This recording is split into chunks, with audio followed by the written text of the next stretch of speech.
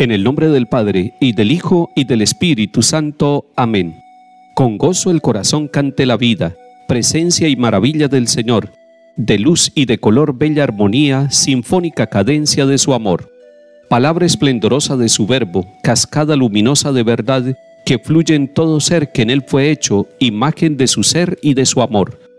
La fe cante al Señor y su alabanza, palabra mensajera del amor, responda con ternura su llamada, en himno agradecido a su gran don. Dejemos que su amor nos llene el alma en íntimo diálogo con Dios, en puras claridades cara a cara, bañadas por los rayos de su sol.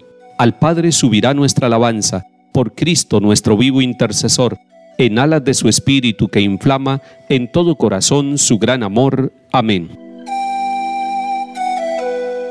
Lectura de la carta del apóstol San Pablo a los Filipenses capítulo 4. Hermanos, me alegré muchísimo en Cristo de que ahora por fin pudieran expresar el interés que sienten por mí. Siempre lo habían sentido, pero les faltaba la ocasión. Aunque ando escaso de recursos, no lo digo por eso. Yo he aprendido a arreglarme en toda circunstancia. Sé vivir en pobreza y abundancia. Estoy entrenado para todo y en todo la hartura y el hambre, la abundancia y la privación. Todo lo puedo en aquel que me conforta. En todo caso, hicieron bien en compartir mi tribulación. Ustedes, los filipenses, saben además que desde que salí de Macedonia y empecé a predicar el Evangelio, ninguna iglesia, aparte de ustedes, me abrió una cuenta de haber y debe. Ya a Tesalónica me mandaron más de una vez un subsidio para aliviar mi necesidad no es que yo busque regalos, busco que los intereses se acumulen en su cuenta. Este es mi recibo, por todo y por más todavía. Estoy plenamente pagado al recibir lo que me mandan con Epafrodito. Es un incienso perfumado, un sacrificio aceptable que agrada a Dios.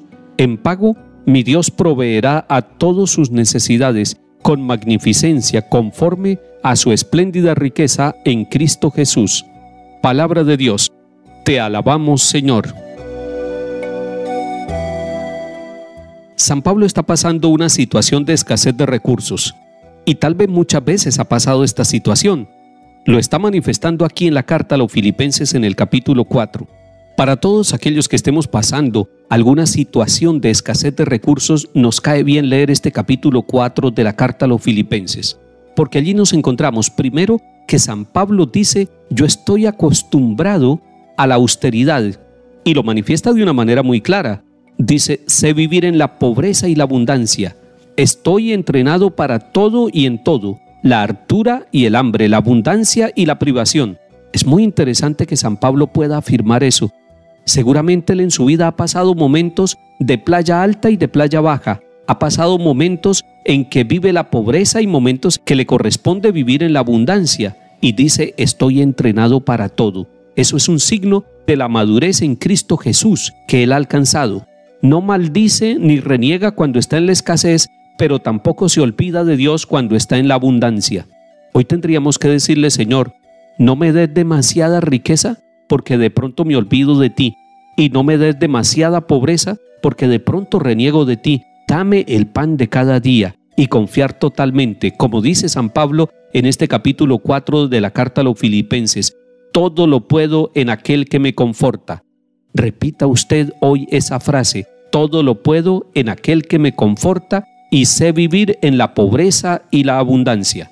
Pero además, San Pablo está agradeciendo, está agradeciendo a la comunidad de Filipos porque ellos han proveído a su necesidad, han estado acompañándolo, han sido generosos con él y no solamente ahora que está preso, sino en distintos momentos para sostener su predicación del Evangelio. Y dice San Pablo, no es que yo busque regalos. Es muy importante que el evangelizador no sea ambicioso. Es muy importante que el evangelizador sepa que vive como cualquier párroco de las ofrendas y de la generosidad de la comunidad evangelizada, pero que no sea ambicioso.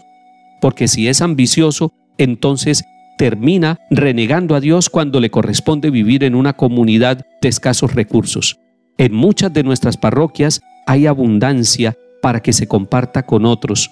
Agradecemos hoy a todos aquellos hombres y mujeres que con su diezmo, que con su ofrenda, están ofreciendo también como dice San Pablo, un incienso perfumado, un sacrificio aceptable que agrada a Dios. Esa ofrenda suya los domingos, ese aporte suyo para la evangelización, ese diezmo suyo es un incienso perfumado, es como una oración desde su esfuerzo y Dios bendecirá la generosidad que usted ha manifestado. Y eso es lo tercero, que San Pablo hace una súplica a Dios y dice, en pago mi Dios proveerá a todas sus necesidades. San Pablo y todo evangelizador que recibe la ayuda para el sostenimiento de su misión, pide por aquellos donantes, pide por aquellos que han ofrecido su ayuda y pide para que Dios provea en todas sus necesidades y lo haga conforme a la espléndida riqueza que Dios tiene en Cristo Jesús el Señor. Salmo 111. Dichoso quien teme al Señor y ama de corazón sus mandatos. Su linaje será poderoso en la tierra, la descendencia del justo será bendita. Dichoso el que se apiada y presta y administra rectamente sus asuntos. El justo jamás vacilará, su recuerdo será perpetuo, su corazón está seguro sin temor. Reparte limosna a los pobres, su caridad es constante sin falta y alzará la frente con dignidad. Lectura del Santo Evangelio según San Lucas capítulo 16. En aquel tiempo decía Jesús a sus discípulos, Gánense amigos con el dinero injusto para que cuando les falte, los reciban en las moradas eternas. El que es de fiar en lo menudo también en lo importante es de fiar. El que no es honrado en lo menudo tampoco en lo importante es honrado. Si no fueron de fiar en el injusto dinero, ¿quién desconfiará lo que vale de veras? Si no fueron de fiar en lo ajeno, lo suyo, ¿quién se lo dará? Ningún siervo puede servir a dos amos, porque o bien aborrecerá a uno y amará al otro, o bien se dedicará al primero y no hará caso del segundo. No pueden servir a Dios y al dinero. Oyeron esto los fariseos, amigos del dinero, y se burlaban de él. Jesús les dijo, Ustedes presumen de observantes delante de la gente, pero Dios los conoce por dentro. La arrogancia con los hombres, Dios la detesta. Palabra del Señor. Gloria a ti, Señor Jesús. Estamos leyendo el capítulo 16 de San Lucas. El Señor Jesús nos está diciendo que debemos ser fieles a Dios. Ese es el centro de la enseñanza. La fidelidad a Dios es el criterio. Y en todo, en lo económico y en la administración de los bienes, el centro de nuestro discernimiento, de la manera de clarificar es la fidelidad a Dios. Y tendríamos que hacernos una pregunta a la hora de encontrarnos con un negocio, con una posibilidad de ganancia o con una propuesta que nos trae duda para nuestra conciencia, deberíamos hacernos la siguiente pregunta. ¿Esto que me están proponiendo, esto que estoy pensando realizar, este proyecto económico o administrativo, es fiel a Dios? ¿Me permite a mí vivir la fidelidad a Dios? En sí el proyecto va según la fidelidad que Dios quiere de cada uno de nosotros y de la manera como hacemos prosperar los bienes que Él puso en nuestras manos? Esas preguntas deberíamos hacerlas, porque no vaya a ser que nosotros por un lado le pedimos a Dios que nos ayude y Él está dispuesto a escuchar nuestra súplica diariamente, pero que por otro lado nosotros no lo escuchemos a Él en la manera de realizar las cosas que tenemos en nuestras manos. El Señor Jesús nos está dando estos puntos bien claros. El que es de fiar en lo menudo, también en lo importante es de fiar. En otras palabras, lo explica él mismo, el que no es honrado en lo menudo, tampoco en lo importante es honrado. Se busca que nosotros seamos honrados en lo poquito y en lo mucho. No vayamos a pensar que los que son deshonestos son los que manejan grandes capitales. También puede ser que aquellos que manejamos pequeños capitales caigamos en la tentación de la deshonestidad, de ser poco honrados. Quitemos toda corrupción de nuestra vida. El Papa Francisco nos ha dicho nosotros podemos ser pecadores, pero no seamos corruptos. La segunda y central enseñanza es la que nos dice el Señor Jesús, ningún siervo puede servir a dos amos, porque o bien aborrecerá a uno y amará al otro, o bien se dedicará al primero y no hará caso del segundo. Y nos clarifica, no pueden servir a Dios y al dinero. Esa enseñanza es clarísima. Nosotros tenemos un solo amo, que es el Señor Jesús, y a Él debemos ponerlo en primer lugar. No lo contrario, poner en primer lugar el dinero y que el Señor se venga a trabajar con nosotros para ese Dios que nosotros tenemos y para esa meta llamada dinero.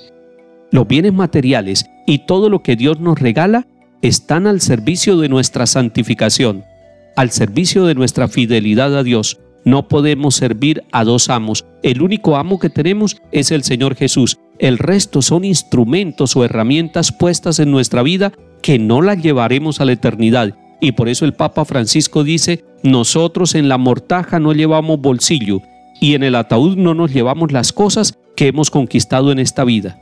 Al escuchar esto, muchos se pueden burlar y decir, meter a Dios en la economía es una ingenuidad, pensarán algunos. La economía tiene sus normas, sus leyes particulares, y a Dios no se debe meter en esto. En el tiempo de Jesús también lo criticaban a él. Lo oyeron los fariseos, dice hoy el capítulo 16 de Lucas, que son amigos del dinero y se burlaban de él. Si se han burlado de Jesús, también se burlarán de nosotros. Pero el Señor les dice, ustedes son observantes de apariencia, pero Dios los conoce por dentro. A usted y a mí también el Señor nos conoce por dentro. Él sabe nuestras necesidades, Él va a bendecir nuestras obras, Él hará prósperas las obras de nuestras manos, pero si nosotros estamos dispuestos a que nuestro corazón sea fiel al plan de Dios. Que el Señor nos bendiga y acompañe en el nombre del Padre, y del Hijo, y del Espíritu Santo. Amén.